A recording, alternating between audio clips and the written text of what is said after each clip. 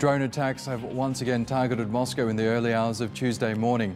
Russia says anti-aircraft units have downed a number of them, but one did strike a high-rise building for the second time in just a few days. No injuries have so far been reported. Meanwhile, Ukraine has accused Russia of targeting civilians after a strike on an apartment building and educational institution in the city of Kryvyi Rih killed at least six people, including a 10-year-old girl. The strike was just against civilians, ordinary people, children. This is terrorism, which no one in the world will call otherwise.